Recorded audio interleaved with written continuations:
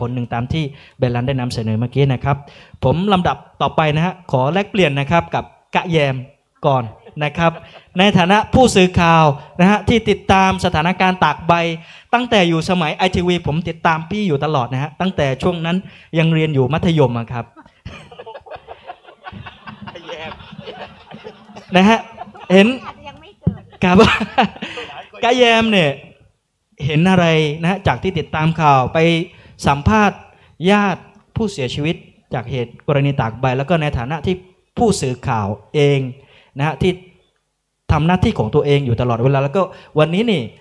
คิดว่าน่าจะได้รับสมญานามจากฝ่ายความมั่นคงแล้วนะฮะถูกผลักไปอีกฝ่ายหนึ่งแล้วใช่ไหมครับครับพี่แยมเห็นอะไรจากปรากฏการณ์ตากใบในฐานะสื่อมวลชนที่ทำเกาะติดอย่างต่อเนื่องครับ ขอความยุติธรรมจงมีแก่ทุกท่านค่ะ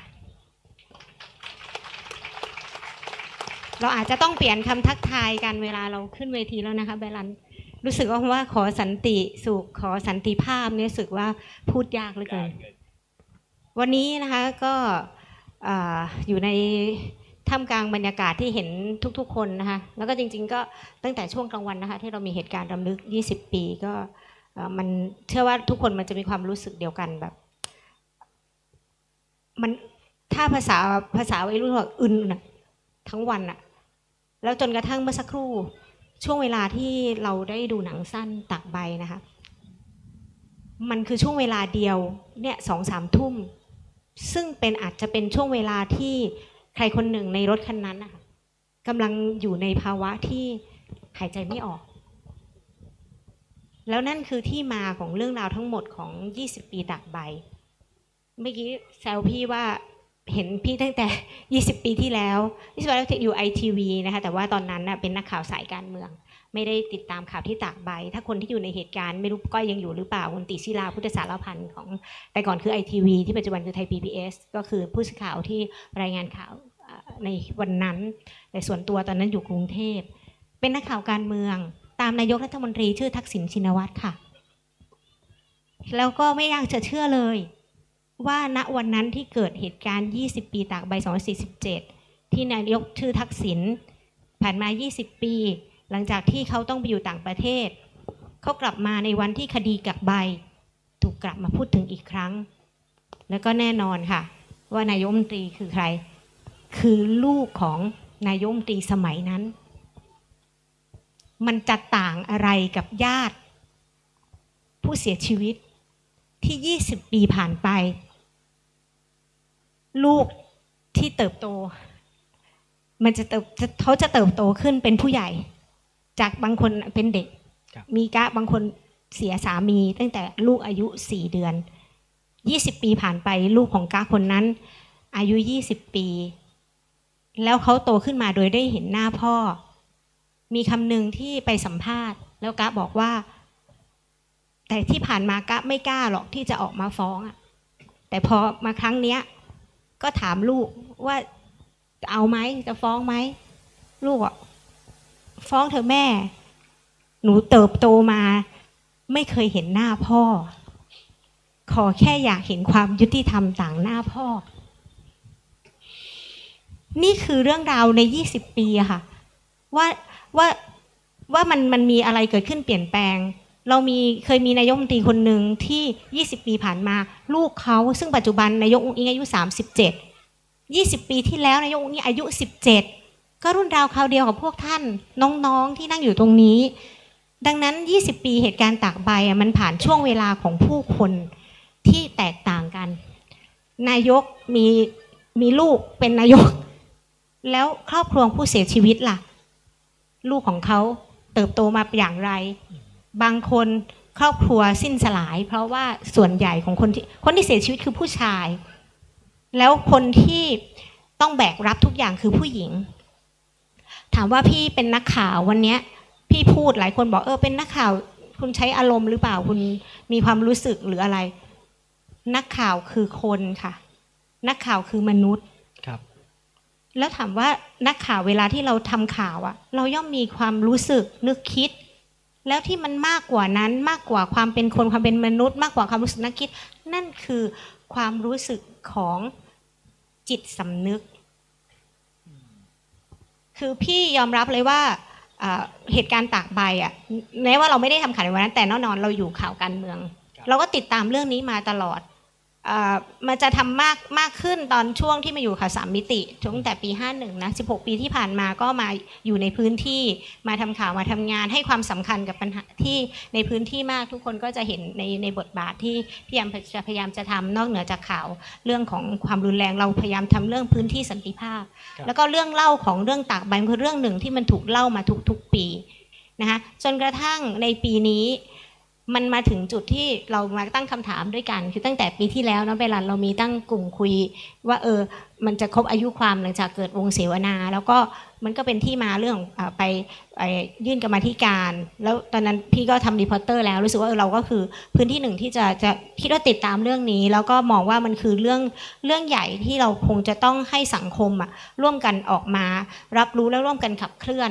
ก็เลยเลยให้ความสำคัญแล้วให้พื้นที่ข่าวกับเรื่องของข่าวตากใบมาอย่างต่อเนื่องทั้งในวงกรรมธิการที่เป็นที่มาของสำนวนหายนะและจนกระทั่งที่ชาวบ้านฟ้องนะคะแล้วก็ในโดยเฉพาะช่วงสองเดือนสุดท้ายที่ศาลประทัดรับฟ้อง แล้วก็ศาลมีหมายจับ คือจริง ๆ ก่อนหน้านั้นก็ด้วยความที่ภาระเพียมเยอะก็เลยไม่ได้มาลงพื้นที่อย่างจริงจังแต่ว่าตั้งใจว่าในช่วง สองเดือนสุดท้ายเนี่ยจะจะให้ความสำคัญกับเรื่องนี้ แต่ให้ความสำคัญที่ว่าคือการลงพื้นที่มาให้ความสำคัญกับการพูดคุยกับคน มานั่งฟังคำพิพากษา มานั่งการพิมานั่งฟังในห้องพิจารณาคดีของศาลมามามามาฟังว่าเรื่องราวมันเป็นยังไง จริง ๆ มีสิ่งหนึ่งที่ไม่ได้คาดคิดมาก่อนในแง่ของของความรู้สึกญาติ เพราะว่าตลอดห่วงเวลา 20 ปี โดยเฉพาะช่วงปีแรกๆอะ นักข่าวจะรู้ดีเลยว่า การสัมภาษณ์ญาติอะ เป็นเรื่องที่ยากมาก บางคนไม่เคยให้สัมภาษณ์เลยตลอดเหตุการณ์ 20 ปี เพราะว่าบรรยากาศช่วง 20 ปีที่แล้วที่น้องๆยังไม่เกิด มันมีความน่ากลัว มันมีอะไรทุกอย่างที่มันความหวาดกลัวที่กดทับเขา สิ่งหนึ่งที่พี่ในฐานะนักข่าวที่พี่รู้สึก ว่าเออเรื่องนี้มันยิ่งใหญ่สำหรับพี่ก็คือเนี่ยค่ะความการการเปิดประตูแห่งความความหวาดกลัวของญาติอะค่ะ มันคือเรื่องสำคัญมากอะกว่าที่เขาจะกล้าออกมาพูด ทั้งๆที่เขามีสิทธิ์จะพูดอะใช่ใช่ครับ แต่เขาใช้เวลาถึง 20 ปีที่จะกล้าออกมาพูด กล้าออกมาพูดไม่พอ กล้ามาฟ้องเจ้าหน้าที่รัฐอะขอเสียงให้ปรบมือกบปรบมือให้กับนี่ญาติด้วยนะครับอวามกล้าหาญของญาติค่ะ ถ้าถามว่าใครคือฮีโร่กับเหตุการณ์ครั้งนี้นะคะ เราต้องจดจำทั้ง 48 คน ถ้าอยากจะอ่านชื่อผู้เสียชีวิต 85 คน ขอให้อ่านชื่อญาติ 48 คนที่ร่วมฟ้องด้วยนะเบลันรวมถึงทนายความด้วยนะ พวกเขาคือคนที่พลิกประวัติศาสตร์ พวกเขาที่กำลังสร้างบันทึกของต่างใบหน้าใหม่ครับหน้าใหม่คืออะไร เพราะว่าเรื่องบางเรื่องมันไม่เคยถูกพูดถึงหรือเปิดเผยมาก่อน ในช่วง 20 ปีที่ผ่านมา ถ้าถามว่านักข่าวอาจจะเคยสัมภาษณ์บ้างบางคน พี่ไปเจอในหนังสือบางเล่มที่นักที่เขาทำวิจัย แต่ว่านักข่าวแทบที่จะไม่ค่อยได้สัมภาษณ์ญาติเลย และสิ่งที่พี่รู้สึกแบบรู้สึกว่าเรื่องตากใบมันมันเราไม่ควรเราเราไม่สามารถที่จะทำข่าวอยู่แต่เราแค่คนเดียวแล้วอะมันเป็นคนเรื่องที่ทุกสังคมต้องรับรู้ ส่วนหนึ่งเองนอกจากไปฟังห้องพิจารณาคดีนะคะวินาทีที่ไปฟังวันนั้นคือวันที่ศาลมีคำสั่งประทับรับฟ้อง แล้วไปคือเดินทางมาจากกรุงเทพไปทันทันที่ศาลพูดคำว่า คดีมีมูล ว่ามีผู้กระทำให้ผู้อื่นถึงแก่ความตาย มีข้อหาสามข้อที่ศาลรับฟ้องจำเลยเจ็ดคนเนี่ยยังขนลุกไม่หายขนลุกอะ่ะเฮ้ย เราไม่เคยคิดมาก่อนว่าเราจะได้ยินคำนี้อะในห้องในห้องผู้พิพากษาครับพูดว่ามีเจ้าหน้าที่รัฐที่เป็นถึงอดีตแม่ทัพ มีเจ้าหน้าที่ที่เป็นถึงอดีตผู้ว่า อดีตนายตำรวจ ถูกตั้งข้อหาฆ่าผู้อื่นทำให้คนตาย 85 คน คือแค่ฟังในห้องน่ะไม่เขียนคือแล้ววิสัยนักข่าวอะโหรีบที่จะแบบออกจากห้องอะ เพื่อไปทำ breaking news อะ เพราะนี่คือเรื่องใหญ่และเรื่องที่เชื่อว่าไม่เคยเกิดขึ้นมาก่อน ข่าวนี้คือ breaking news ที่ที่แบบทำให้สังคมตื่นขึ้นมาเลยอะ ว่าเฮ้ย ศาลรับฟ้องผู้ต้องหาเจ็ดคนในคดีตากใบ แล้วมันก็หลังจากนั้น พอออกมาจากห้องพิจารณาคดี เราเห็นหน้ากะ หน้าแบหน้าทุกคน ยิ้มอะจากที่วันก่อนไปสัมภาษณ์อะหรือไปคุยอะทุกคนยังไม่รู้เลยว่ามันจะเกิดอะไรขึ้น ทุกคนยังกล้ากลัวๆแต่นาทีนั้นน่ะ ทุกคนยิ้มแต่แต่ยิ้มไม่ใช่แบบ คือยิ้มแบบ เฮ้ยนี่เหรอ หน้าตาความยุติธรรมมันเป็นแบบเนี้ย ทุกคนนึกภาพตามนะคะ คือสำหรับพี่อะพี่อยู่ในห้องพี่พี่ไม่ใช่ญาติอะ พี่ยังรู้สึกเลยเฮ้ยหน้าตาความยุติธรรมมันเป็นแบบนี้ว่ะ เพราะหันไปเห็นรอยยิ้มของทุกคนในห้องนั้นอะ มันมันมันทำให้พี่รู้สึกว่า เออนี่แหละที่เขาพูดอะ แล้วเราจะเข้าใจในคำที่ทุกคนให้สัมภาษณ์ว่าที่เขาตัดสินใจฟ้อง เพราะเขาอยากรู้ว่าความยุติธรรมเป็นยังไง เหมือนที่ลูกของก้าบอกว่าอยากเห็นความยุติธรรมต่างหน้าพ่อมันเป็นอย่างนี้เอง นั่นคือความรู้สึกเขาในวันที่ 23 สิงหาคมค่ะครับแล้วมันก็ต่อมาวันที่ 12 กันยา มีหมายจับอะมันก็ยิ่งแบบความรู้สึกมันเหมือน เออเฮ้ย ถ้าภาษาปัจจุบันเขาว่าใจฟูเนาะยังมีความหวังนะฮะกระบวนเออใจกับฟูกระบวนการยุติธรรว่ามมีหมายจับ ใช่ไหมทุกคนมีหมายจับอะแต่ว่าแม่ตอนนั้นมีคนหนึ่งคือท่านไม่เป็นสสอยู่ครับก็มีหมายเรียก แต่ว่าณวันนั้นคือยังว่ามันเป็นที่สุดเนาะเบลันมันเป็นที่สุดถ้าทุกคนได้อยู่ในห้องพิจารณาคดีวันนั้น ทุกคนจะรู้เลยแหละว่านี่คือที่สุด แน่นอนหมายจับวันนั้นมันนำมาซึ่งเอ่อการที่ความคาดหวังแล้วเหมือนคนเราอะมีมีได้มาได้มาหนึ่งเก้าแล้วอะมันจะยิ่งคาดหวังว่าเฮ้ยมันจะไปถึงวันที่เราจะเห็นเขามาขึ้นศาลไหม เพราะว่าพอหลังจากนั้นพี่แอมก็สัมภาษณ์ญาติญาติๆธรรมะทุกคนครับเขาบอกเออ เอออย่างอย่างวันวันก่อนที่จะมาศาลเนี่ยก้าก็บอกว่าก้าแค่อยากเห็นหน้าเขาว่าหน้าตาคนที่ทำให้ลูกเราตายเนี่ยหน้าตาเขาเป็นยังไงก้าอีกคนนึงก็บอกว่าก้าก็แค่อยากฟังคำขอโทษของเขาไม่ต้องว่าจะเอาเขาติดคุกหรอเราไม่รู้ว่าชาวบ้านธรรมดาอย่างเรา มีคำหนึ่งคือชาวบ้านยายก็อยากรู้ว่าชาวบ้านคนธรรมดาธรรมดาอย่างกัสเนี่ยจะเห็นไหมความยุติธรรม เราชาวบ้านฟ้องเราก็ยังไม่รู้เลยว่ามันจะได้ไหม แต่ก็แค่อยากเห็น ต่อให้ไม่เห็นว่าว่าเขาจะถูกจับหรือเขามาไหม แต่ว่าขอแค่ให้เห็นหน้าเขาหรือขอแค่คำขอโทษครับ แล้วก็มันมีหลายคำมากอย่างที่ทุกคนได้เห็น หรือถ้าที่ที่ยังพยายามจะเอ่อนำมาโค้ดในในในในข่าวนะคะมันมันคือคำที่เป็นความรู้สึกของเขาที่คนจริง ๆ คือถามว่าคนที่เนี่ยเวลาสัมภาษณ์อะจะกลัวครับ ไม่กล้าสัมภาษณ์ไหนจะเออเดี๋ยวพูดไม่ชัดบ้าง พูดมาลายูเดี๋ยวไม่เข้าใจสื่อสารไม่เข้าใจ ไม่แข็งแรงแต่ทุกคนเวลาให้สัมภาษณ์อะทุกคนก็พูดแบบเนี้ยมาลายูคำพูดคำไทยคเออก็คือพูดไทยนี่แหละ ทุกคนแต่คำพูดอะค่ะ ทุกคำมันมีความหมาย จนแยมแบบ เฮ้ย เรา เราเราเราเรารับรู้ได้ว่านี่คือความมาจากความรู้สึกของเขาจริงครับๆเหมือนแบร์ที่เป็นพี่ชายของเออน้องที่อายุ 16 ปีที่เสียชีวิต คืออันหนึงต้องขอบคุณเอ่อโครงการเอ่อพิพิธภัณฑ์และหอจดหมายเหตุชายแดนใต้เนาะที่เขานำสิ่งของในความทรงจำมาของญาติอืมมาทำอ่ารวบรวมทำนิทรรศการ แล้วก็มีในหนังสือด้วยนะคะถ้ามีโอกาสอยากจะแชร์ให้ทุกคนได้อ่าน เพราะมันมันกลายเป็นการถ่ายทอด เรื่องราวความทรงจำของทุกคนนะคะผ่านสิ่งของที่เขาเก็บไว้ พี่แยมครับ จากสิ่งที่พี่แยมได้ถ่ายทอดในฐานะบทบาทสื่อมวลชนนะฮะที่ได้ติดตามเกาะติดเรื่องของคดีความนะฮะคือเมื่อกี้พี่แยมบอกข้อจำกัดของนักข่าว ในฐานะเราเป็นมนุษย์มีความรู้สึก ตลอดระยะเวลาที่ผ่านมา มันมีข้อจำกัดเราเจอปัญหาข้อท้าทายอะไรบ้างในฐานะที่เป็นนักข่าวครับ คือสำหรับพี่เรื่องการทำข่าวสามจังหวัดอะพี่มันเกยเลยข้าวเลยแล้วนะเลยจุดของของการก้าวข้ามเหมือนเพราะเราเจอมาโดยตลอดและข้อหาเป็นนักข่าวโจรนักข่าว PRN นู่นนี่นั่นเราเจอมาหมดแล้วงั้นเราเราเราก้าวข้ามสิ่งเหล่านั้นมาได้เพราะว่าเราตั้งมั่นอยู่เสมอว่างานที่เราทำอะเราเราต้องการสื่อสารถึงอะไรเราบอกว่าพี่พยายามทำงานสื่อเพื่อสันติภาพ เพราะว่าเราอยากจะเป็นมีพื้นที่ให้ทุกคนได้มาพูดในสิ่งที่ทุกคนคิดนะคะแล้วเพื่อนำมาซึ่งการถกเถียง แล้วก็หาข้อเท็จจริงหาหาทางออกร่วมกัน ในเรื่องนี้ก็เหมือนกัน เชื่อไหมว่าในขณะที่สัมภาษณ์กะในถ่ายทอดความรู้สึกของญาติ อีกอีกอีกวันหนึ่งชั่วโมงหนึ่งสัมภาษณ์ท่านอาจารย์ ที่เป็นที่เคารพนับถือของเราทางด้านความมั่นคงนะคะ อันนี้ด้วยความเคารพอาจารย์ค่ะ คือเราก็เป็นเราเคารพอาจารย์มากอาจารย์แล้วสุรชาติใช่ไหมครับอาจารย์ก็ก็เอ่อแล้ววันนั้นเป็นวันที่จะมาสารนราธิวาสด้วย แล้วก็นัดอาจารย์ไว้ไลฟ์อยู่ในรถ ก็ฟังอาจารย์อยู่ชั่วโมงครึ่งก็ ครับอื่นพูดไม่ออกอื่นพูดไม่ออก เออ แต่ว่าล้พี่แยเอ่อมนี่เรียบร้อยมากครับวันนั้นที่ใช่ถามทุกอาคจานรย์สทุรกคนชาติแปลทุกคนแปลกใจว่าทำไมพี่แบบอืมมันอ่าน้อมน้อมมากไม่ใช่ไม่ก็คือ คือถามอาจารย์กลับไปหลายรอบแล้วแต่อาจารย์ตอบเหมือนเดิมก็เลยไม่เป็นไรค่ะครับเดี๋ยวเราให้ความเคารพในทุกๆความคิดเห็น ทุกๆคนย่อมมีสิทธิ์ที่จะคิดจะพูดแต่ในขณะเดียวกัน เราต้องมีพื้นที่ให้กับถ้อยเท็จจริงอีกส่วนหนึ่งที่ สังคมอาจจะไม่ได้ให้ความสำคัญ นั่นคือหน้าที่ของพี่ครับพี่ถึงถึงมองว่าเรื่องเนี้ยเราเราอยากจะถ่ายทอดออกมา แล้วก็มีอยู่คำหนึ่งเมื่อที่ที่แบร์ที่เป็นพี่ชายของน้องที่อายุ 16 ปีอะแบร์แบร์พูดทิ้งท้ายไว้จนพี่แยมจำได้ขึ้นใจ ว่าแค่น้องชายอะเป็นเด็กนักเรียน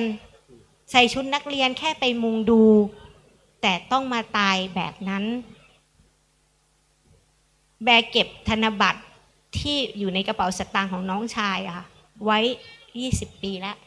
มันคือธนบัตรเปื้อนเลือด แล้วแบร์บอกว่า วันเนี้ยแบร์แบร์ออกมาพูด เพราะแบร์รู้สึกว่าที่ผ่านมาปัญหาตากใบอะมันไม่ใช่ปัญหาของครอบครัวแบร์ครับ แต่มันเป็นปัญหาของสังคมนี้ ดังนั้นคือเหตุและผลของทุกคนของญาติทุกคนที่เขาพูดออกมา เราจง ฟังเขาค่ะ แล้วจงจงเข้าใจเขาว่าเขารู้สึกยังไง เราคิดยังไงแล้ว พอวันเนี้ยอาพอในวันที่คดีมันกำลังหมดอายุความแล้วทุกคนไม่เห็นความคือคือช่วงนี้พี่สัมภาษณ์ญาติสัมภาษณ์ทุกคนเยอะมากครับมันก็จะเป็นความรู้สึกเหมือน บางครั้งเราไม่อยากจะถามเขาแล้วอะว่าเขาจะรู้สึกยังไง เพราะว่าแต่ละคำที่เขาออกมามันไกลจากใบหน้าที่เคยยิ้มในวันที่รู้ว่ามีการรับฟ้อง ใบหน้าที่มีความหวังในวันที่มีหมายจับ แต่วันนี้ทุกคนกลับมามีใบหน้าแบบเดิมเมื่อ 20 ปีที่แล้ว ใบหน้าของความหวาดกลัวอืมกลัวอะไรคะกลัวว่าหลังจากนี้จะมีใครมาเยี่ยมบ้านไหมครับกลัวว่าหลังจากนี้ยังไง และที่ซ้ำเติมญาติ ไม่ได้ความยุติธรรมไม่พอนะคะ ยังถูกความอายุติธรรมซ้ำสองการถูกกล่าวหาว่าออกมาฟ้อง เพราะมีการเมืองอยู่เบื้องหลัง การถูกกล่าวหาว่ารับเงินไปแล้วยังจะมาฟ้องทำไมครับการถูกกล่าวหาว่าทางทุกคนเนี่ยอ่าเป็นแนวร่วมเนี้ยมันคือการไปซ้ำเติมเขาอะแล้วนั่นคือความอายุติธรรมที่เขาได้รับ อันนี้คือสิ่งที่พี่รู้สึกว่าเออมันมันยังเป็นงานที่อาจจะต้องทำหลังจากนี้ แล้วก็สิ่งหนึ่งที่อาจจะทิ้งท้ายไว้ในช่วงแรกนะคะอ่า สิ่งหนึ่งเมื่อ 20 ปีที่แล้วอะเหตุการณ์ตากใบอะมันมีแค่โทรทัศน์ครับกับหนังสือพิมพ์ที่ออกอีกวันหนึ่งอืมโทรทัศน์นี่สามจังหวัดเนี่ยข่าวนี่กว่าจะออกนี่โอ้โห มันใช้ไอส่งไอไอไฟเบอร์อะสมัยก่อนนะคะใช่ครับมันไม่เหมือนสมัยนี้อ่าคนที่จะดูเหตุการณ์ตากใบดูทุกคนดูซีดีใช่ไหมคะซึ่งตอนหลังต้องต้องแอบดูเพราะว่าถ้าต้องดูแล้วแอบเดี๋ยวมีคนต้องมาแอบเยี่ยมบ้าน แต่สมัยนี้ โลกมันที่มันเปลี่ยนไป มันก็ทำให้เรื่องตากใบเป็นที่รับรู้ของคนมากขึ้น ก็เชื่อมั่นว่าสิ่งหนึ่งที่รู้สึกว่าในฐานะสื่อนะคะ ก็ต้องขอบคุณสื่อมวลชนในประเทศนี้ด้วยนะคะ ที่หันมาให้ความสำคัญจากตากใบพี่เริ่มนับถอยหลังทำเขาดาวเรื่องคดีตากใบเมื่อ 34 วันที่แล้วมันก็เลยเริ่มพอเราเริ่มทำมันเริ่มเห็น เออสังคมมันเริ่มครับเริ่มเริ่มตื่นตัว คุณสุริชัยยังมาพูดคุณสายจุนนะคะเขามาพูดว่าเออพี่เออผมเห็นแยมทำผมนู่นนี่นั่นทุกคนก็เริ่มเริ่มทำตาม แล้วก็มันมันเปิดมันเปิดพื้นที่ให้กับสื่อส่วนกลาง ได้หยิบยกในเรื่องของตากใบออกมาพูดถึง แล้วมันเกิดขึ้นในท่ามกลางในช่วงเวลาที่ประเทศเรามันมันผ่านการเรียนรู้เรื่องของเออความเข้าใจเกี่ยวกับสิทธิมนุษยชนนะคะ อย่างมาก ก็ต้องให้กำลังใจญาติ ให้กำลังใจทุกคนนะคะครับว่าณวันนี้เราอาจจะไม่ได้ตัวผู้ต้องหา แต่ทุกคนชนะแล้ว